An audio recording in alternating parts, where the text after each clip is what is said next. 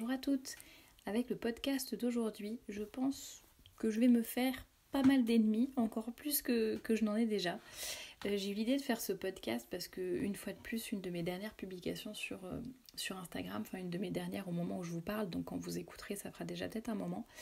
Mais voilà, encore provoquer des, des polémiques et dès qu'on ose dire quelque chose d'un peu différent de, de ce qui se dit dans la société actuelle, il y a toujours les féministes qui rappliquent, qui voilà, qui, qui signalent le compte, qui font de la mauvaise publicité, qui, qui demandent aux autres de, de, signaler le compte ou tout simplement de venir faire des commentaires euh, négatifs, etc. Vraiment, le féminisme est devenu euh, euh, vraiment la loi, la loi générale, c'est devenu presque une dictature, j'allais dire. Et le féminisme dont je vais vous parler aujourd'hui, c'est vraiment petit, voilà, petit avertissement, c'est le féminisme de façon générale. Euh, C'est-à-dire il y a beaucoup de courants dans le, féminisme, euh, que ce soit même déjà en France, mais déjà selon les pays aussi. Et euh, toutes les femmes ne se sentent pas féministes de la même manière ou ne mettent pas la même, euh, comment dire, ne mettent, pas le, ne mettent pas le même concept derrière ce mot-là. Il est vrai que de façon générale, Bon, après, c'est peut-être une, mauvaise analyse, j'en sais rien, mais de façon générale, j'ai l'impression que le féminisme tend un petit peu à s'adoucir, c'est-à-dire il y a certaines féministes qui sont allées tellement loin dans leurs actions et leurs revendications que finalement ça, ça a ouvert les yeux à certaines qui commencent à se dire non mais telle chose quand même ça va pas, oui je suis féministe mais ça je, je ne cautionne pas, etc. Mais euh, on va dire que de façon générale le féminisme reste toxique et que c'est une idéologie qui est intrinsèquement mauvaise, quelle qu'en soit, j'allais dire, la, la, branche, la, manifestation, le, le, degré d'adhésion. Euh, voilà, c'est vraiment l'idéologie en elle-même euh, qui n'est pas, qui pas bonne. Ça ne veut pas dire que tout ce que vont faire, dire ou revendiquer des féministes va être mauvais en soi, parce qu'il y a des, certainement des féministes qui ont probablement des bonnes idées, qui ont peut-être des combats qui sont bons, par exemple, je ne sais pas, contre la violence faite aux femmes, par exemple, il est évident que qu'il faut lutter et soutenir les femmes qui se font battre, mais euh, voilà, l'idéologie en elle-même euh, est néfaste, l'idéologie sous-jacente, on va dire. Alors, il y a plusieurs raisons qui font pour que je ne suis pas féministe et que je ne le serai jamais. J'avoue qu'au début c'était peut-être plutôt une intuition il y a quelques années et euh, au fur et à mesure de mes expériences, de mes échanges, de toutes les remarques que j'ai eues suite au fait que bah, un c'est un article sur le blog qui date vraiment d'il y a très longtemps. Je l'ai fait vraiment au début du, du, blog, il me semble, donc peut-être en 2016 ou 2017, et donc sur femmeapart.com. Et euh, voilà, j'avais dit que j'étais pas féministe, que je ne le serais jamais, et j'avoue, mes arguments n'étaient peut-être pas très. J'étais peut-être pas complètement sûre de moi, ou voilà, ma pensée n'était pas forcément affinée. Alors, je peux vous dire qu'avec les années, l'expérience, etc., vraiment, euh, je suis plus convaincue que jamais. Et euh, donc, je vais commencer à vous donner quelques raisons aujourd'hui. J'en ai déjà parlé dans certains podcasts, mais là, ça va être plus un, petit résumé, en tout cas, de ce que je. De, de ma pensée, de, de, mon positionnement personnel, on va dire. N'hésitez pas à commenter, à donner aussi vos expériences et vos retours par rapport à cela. Il n'y a pas très longtemps aussi, j'ai posté un article du témoignage de l'une d'entre vous, donc euh, ancienne féministe, on va dire, ancienne féministe convaincue qui finalement a trouvé le bonheur en, se détachant, j'allais dire, de cette, de cette idéologie et de ce. Oui, de, de, tout le poids et le carcan dans lequel euh, le féminisme essaye de nous mettre, essaye de mettre les femmes. La première raison, justement, euh, qui fait que je ne suis pas féministe, c'est que les féministes sont euh, toxiques. L'idéologie en elle-même est toxique. Elle est toxique pour les femmes, elle est toxique pour les hommes et elle est donc toxique pour la société. On vit vraiment dans un climat malsain de méfiance, d'affrontement entre les deux sexes. Les femmes ne sont plus heureuses du tout. Et à ce propos-là, si vous voulez un peu développer ce sujet de la féminité toxique, enfin du féminisme plutôt toxique, je vous invite à aller lire sur le blog euh, un, un, article, un résumé que j'ai fait d'un livre anglais euh, de Carrie Grace et l'article de mémoire s'appelle Sauver la société de, la féminité toxique, je crois. Euh, donc voilà, comme ça vous verrez un petit peu plus de développement sur ce sujet-là.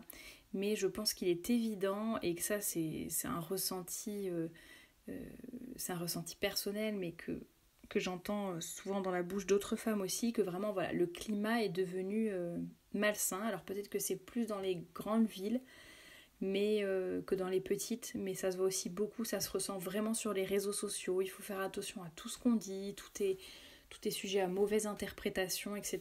Donc voilà, c'est un peu ce, c'est un peu ce, côté-là qui, qui, me déplaît vraiment. La deuxième chose, c'est que les, méthodes employées par les féministes sont vraiment déplorables. Ça, j'en avais parlé en, détail dans un autre podcast, donc je vais pas trop m'attarder dessus, mais voilà, la culpabilisation, leur violence, euh, les, bah, par exemple dans des, ouais, dès qu'il faut violence entre les hommes, euh, envers les hommes, pardon, envers les femmes aussi, leurs mensonges, leur malhonnêteté intellectuelle, les lavages de cerveau, l'intimidation, les raccourcis intellectuels aussi. Voilà, euh, par exemple, ah, tu n'es pas féministe, ça veut dire que euh, tu, soutiens les violences faites aux femmes. Ce genre d'argument pour essayer de faire taire euh, toutes les personnes qui pourraient penser différemment d'elles. Et curieusement, en plus, elles n'ont pas forcément beaucoup d'arguments. C'est toujours un petit peu les mêmes choses qui ressortent. Ah, l'égalité salariale, à ceci, à cela, les mêmes pourcentages, les mêmes arguments, un peu toujours la même rengaine. Et c'est très difficile finalement d'avoir des, des conversations, euh, j'allais dire, constructives ou en tout cas voilà un vrai débat, parce qu'après on n'est pas obligé d'être d'accord, mais au moins avoir un débat. C'est très difficile d'avoir un débat avec les féministes parce que justement elles sont la plupart du temps malhonnêtes intellectuellement et puis surtout beaucoup dans l'émotion, l'émotionnel, les sentiments. Et c'est très très difficile de, de, les rationaliser finalement en quelque sorte, même quand on a des chiffres, même quand on a des études à l'appui.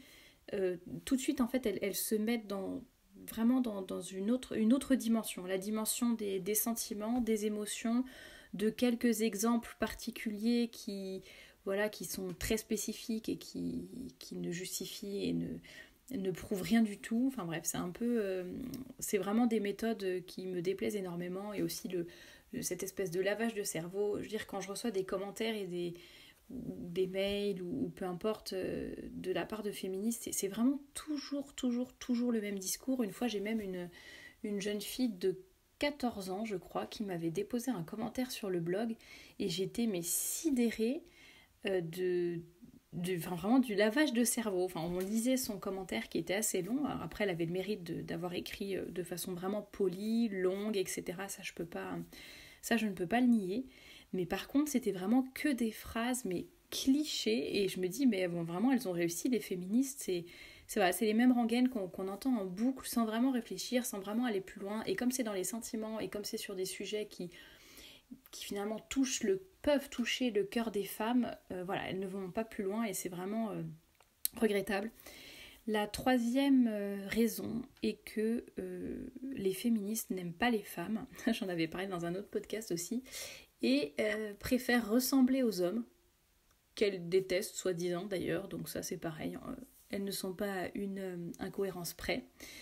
Euh, la misandrie reste complètement impunie, donc l'équivalent de la misogynie mais, envers, les, hommes, donc le, on va dire le, mépris et la haine envers les hommes reste complètement impunis. Il y a beaucoup d'hommes qui, reçoivent des remarques, des menaces. Alors ça c'est facile à trouver sur YouTube ou sur Internet, des, tweets ou des commentaires sur les réseaux sociaux où les femmes appellent au meurtre des hommes, etc. Et ça reste complètement impuni. Enfin un homme qui aurait dit ça d'une femme, je veux dire quel que soit le contexte, euh, ça serait tout de suite... Euh, tout le monde se tout le monde serait horrifié, mais dans l'autre sens, par contre, la misandrie, ça, il n'y a aucun problème. Euh, on a raison, il faut vraiment se venger des hommes, ils nous ont fait tellement de mal que vraiment tous les coups sont permis, donc ça, pas de problème.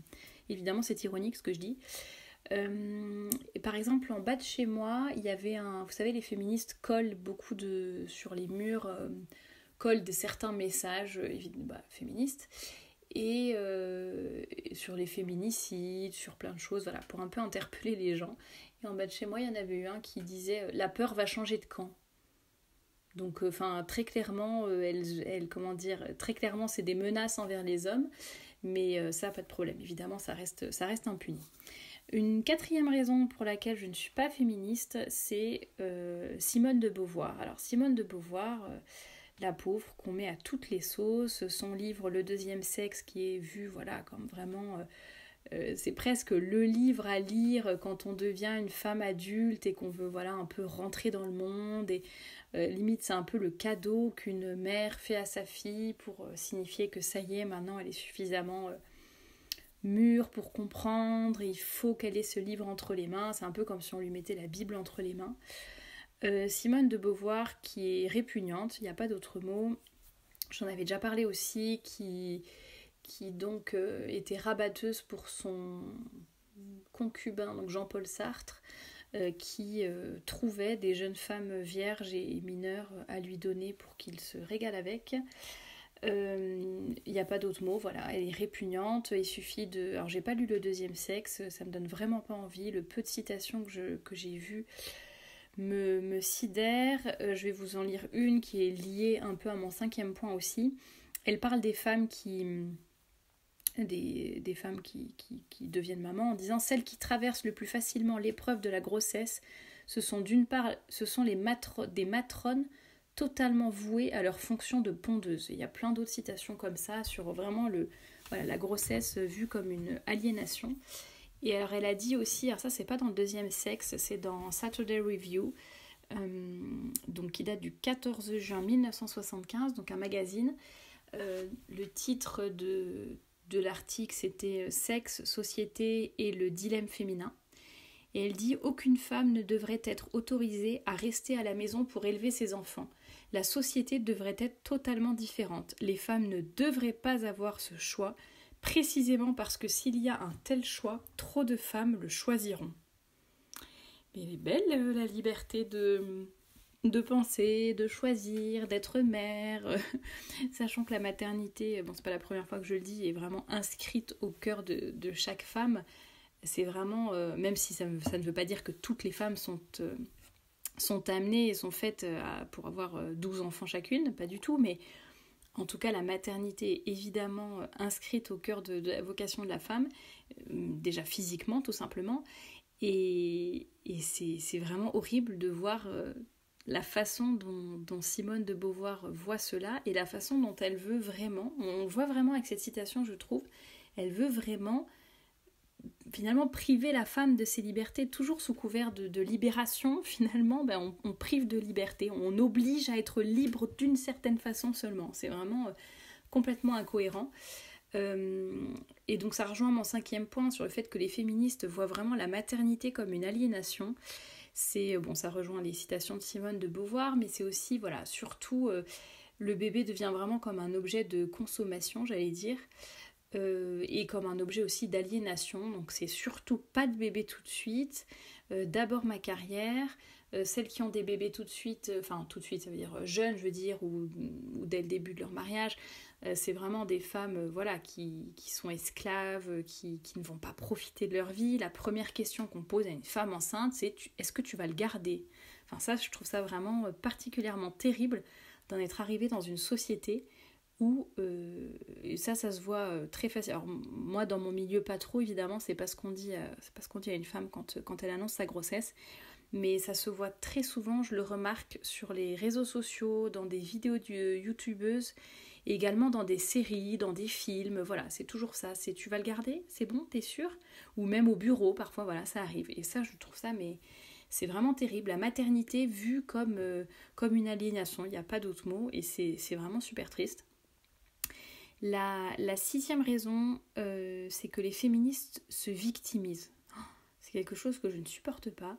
C'est vraiment des pauvres petites malheureuses la femme, enfin les femmes, les féministes sont des pauvres petites malheureuses, constamment violentées, constamment agressées. Alors oui, les violences contre les femmes existent. Oui, certaines femmes se font harceler. Je ne nie pas ça du tout. Mais il y a une espèce de lavage de cerveau, notamment avec le concept de féminicide, qui a. Ça rejoint un peu mon premier point sur le fait que c'est toxique et un peu malsain. C'est-à-dire on est dans une euh, société où on a l'impression que chaque homme est mauvais, que chaque homme est un potentiel agresseur, que chaque homme est dangereux, que la femme est en sécurité nulle part et que euh, le fait d'être femme nous met automatiquement dans une position de, de potentielles victimes, de, voilà, de, pauvres petites malheureuses, victimes de la société, victimes de l'homme, euh, victimes de tout. Alors je ne dis pas, il ne faut pas mal interpréter mes propos, je répète, je ne dis pas qu'il n'y a pas de, violence faite contre les femmes, je ne dis pas qu'il n'y a pas des quartiers où on peut difficilement se, se, balader sans avoir la peur au ventre. Je pense qu'il faut peut-être chercher aussi ailleurs les explications et que tout homme n'est pas potentiel agresseur, mais que voilà, c'est certains groupes d'hommes, certaines catégories, pour ne pas dire autre chose, et que voilà, c'est dans certains quartiers, c'est toujours la même chose. Hein, et évidemment, ça, les féministes ne vont pas le dénoncer, sauf certaines, par exemple le collectif Némésis, dont je, vous ai déjà parlé, qui a le mérite de dire euh, franchement les choses. Et donc, euh, donc voilà, moi c'est cette position de victimisation constante.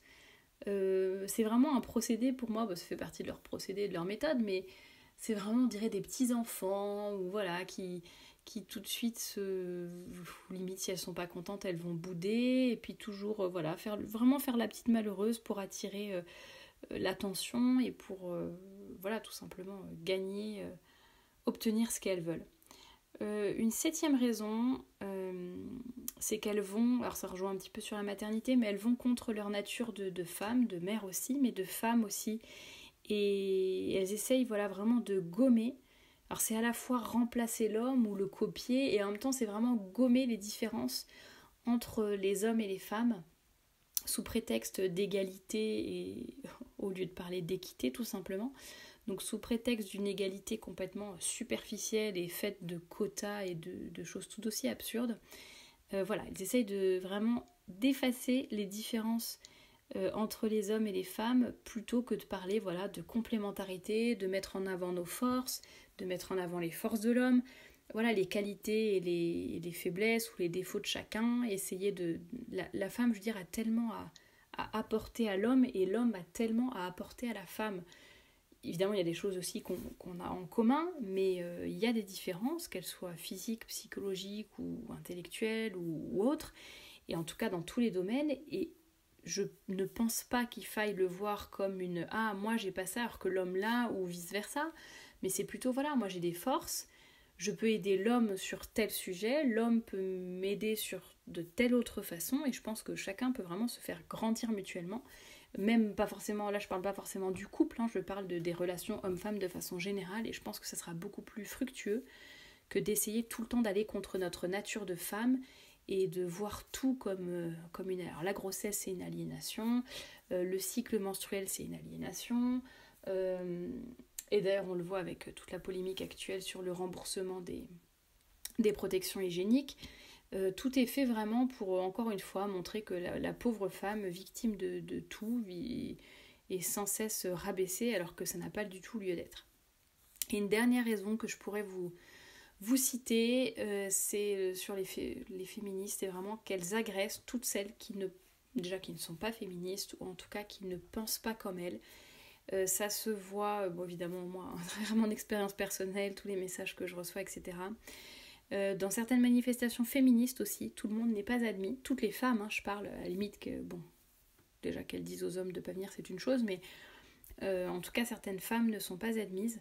Le fait que les mères au foyer soient vraiment dénigrées, méprisées. Alors on a beau dire, mais non, toutes les femmes font ce qu'elles veulent, pas du tout. Enfin, moi, tous les. Enfin, évidemment, il y en a qui peuvent être mères au foyer qui n'ont pas de problème, mais la plupart des témoignages vont quand même dans le sens où euh, quand on est mère au foyer, on n'est généralement pas très bien vu, que ce soit d'autres femmes ou de la société de façon générale. On n'est pas soutenu. Euh, les mères au foyer ne sont pas soutenues. Et euh, vraiment, les féministes prônent la libération, la liberté, chaque femme fait ce qu'elle veut, mais c'est pas vraiment fait ce qu'elle veut, c'est chaque femme fait ce que les féministes l'autorisent à faire. Et ça, c'est vraiment un, gros problème, je pense. Et là, elles sont malhonnêtes, évidemment, et elles se voilent la face, et c'est vraiment bien dommage. Et, ça montre encore une fois la, perversion de, ce mouvement. Je sais pas si c'est le bon mot, mais je pense qu'on peut l'employer en tout cas. Je crois que ça fait déjà beaucoup de raisons. Voilà, c'est un peu, je vous les ai donné un peu pêle-mêle et pas forcément en ordre d'importance ni quoi que ce soit.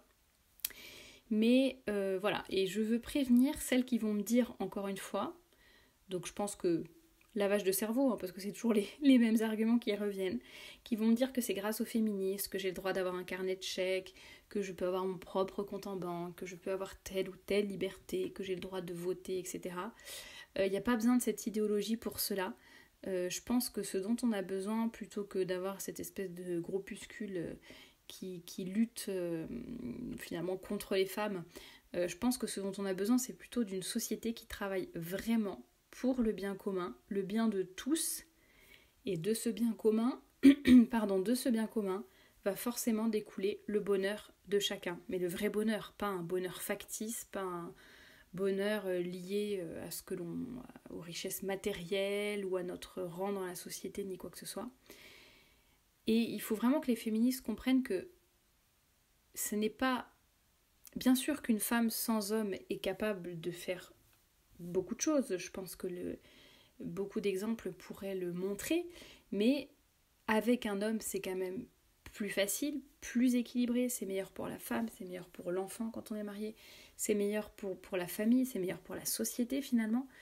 Euh, la complémentarité homme-femme est vraiment importante, ça, ne veut pas dire que la femme est faible, que la femme n'y arrive pas, que la femme seule est incapable, ça ne veut pas du tout dire ça, mais euh, sachons, sachons prendre en compte vraiment euh, nos spécificités et en même temps nos, complémentarités, et tout simplement pour en, tirer, euh, pour en tirer le meilleur. On est dans une société qui est individualiste, qui est égoïste, qui nous pousse à être égoïste. Et euh, je pense qu'il est temps de prendre conscience que oui, nous sommes des individus avec nos particularités, mais nous faisons partie d'un tout qui est ordonné en principe pour le bien commun, même si dans la société actuelle c'est pas vraiment le cas, et nous ne devons pas voilà, rechercher notre petit bien-être individuel, mais plutôt voilà, être ordonné au tout. C'est la partie qui est ordonnée au tout et pas le contraire.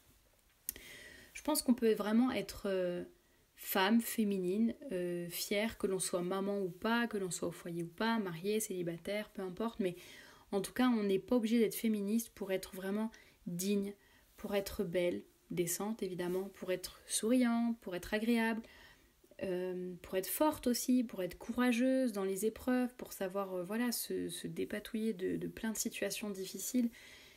Et pas besoin du tout du féminisme pour ça. Les féministes, moi, me font vraiment de la peine. J'ai pas envie de leur ressembler tout simplement parce que vraiment, elles me font pitié. J'ai pas envie de finir euh, seule avec mes chats et sous antidépresseurs. Je pense que les femmes n'ont jamais été aussi malheureuses qu'à l'heure actuelle où pourtant elles semblent en apparence jouir de tant de liberté. Et oui, le modèle de la femme, entre guillemets, traditionnelle, de la femme de toujours, est peut-être plus exigeant, demande peut-être plus d'efforts, déjà envers nous-mêmes, mais aussi envers les autres. Mais je pense que c'est vraiment le, seul chemin vers la véritable liberté, tout simplement, et donc le, vrai bonheur. Et donc non, je ne suis pas féministe, je ne le serai jamais. Et n'hésitez pas à me donner en commentaire vos, vos avis et vos peut-être vos retours d'expérience que vous soyez voilà un homme ou une femme, c'est toujours intéressant de recevoir des témoignages. Euh, voilà peut-être de votre évolution aussi, de voir, euh, je vois beaucoup de femmes qui étaient féministes, mais qui petit à petit, voilà, souvent c'est la maternité qui les change. D'ailleurs, voilà l'importance aussi de et l'impact de la maternité sur, la femme. Euh, ça peut être d'autres choses aussi qui vous ont fait changer d'avis ou qui peut-être que vous êtes encore féministe mais que vous posez des questions, voilà. N'hésitez pas vraiment à, commenter, à me faire part de, vos expériences tout simplement. Et voilà, ça sera un plaisir de, vous lire, de vous répondre et bah, d'échanger tout simplement. Et de mon côté, je vous dis à la semaine prochaine.